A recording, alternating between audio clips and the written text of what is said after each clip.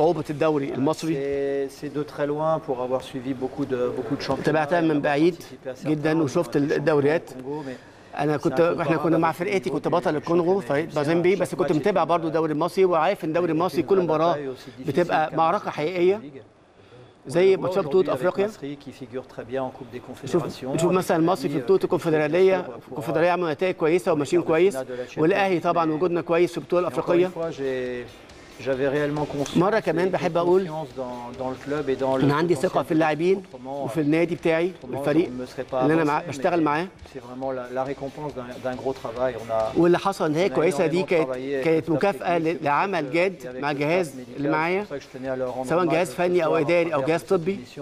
وعايز يعني أنتهز فرصة وجودي في البرنامج ده إن اشكرهم لأن قضينا مع بعض ساعات وساعات وساعات علشان نشتغل كويس ونشتغل ندرس ال- الخصوم بتوعنا عشان نقدر نحقق نتيجه كويسه والاداره برضو وفرت لنا امكانيات كل اللي إحنا محتاجينه عشان نقدر نعمل نحقق النتائج اللي إحنا عايزينها.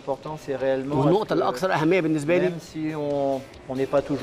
حتى لو ما كناش دايما كويسين عارفين إن إحنا عندنا شغل كتير عايزين نحققه وعايزين حاجات كتير لازم ننجزها قبل ما نوصل للمستوى اللي إحنا عايزينه.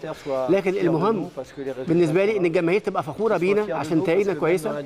ويكونوا فخورين بينا إن برغم وجود المشاكل روح روح اللعيبة كانت موجودة وكانت حاضرة في الملعب وساعدت في تحقيق النتائج. وأنا بقدر الإمكان بحاول ما على اي خطأ أو أي نقطة ضعف في الفريق وبحاول اصلحها على طول. إحنا بنمثل مؤسسة النادي الأهلي. الفرقة دي. بتمثل مؤسسة النادي الأهلي ولازم نكون على قدر المسؤولية. ولازم ندي كل اللي عندنا علشان نكون جادرين باسم النادي الأهلي. وطبعا امكانيات النادي الأهلي لازم يبينوها في الملعب. يطلعوا أفضل ما عندهم. خصوصا في الأوقات الصعبة. وأعتقد إن إحنا أعطينا مثل بده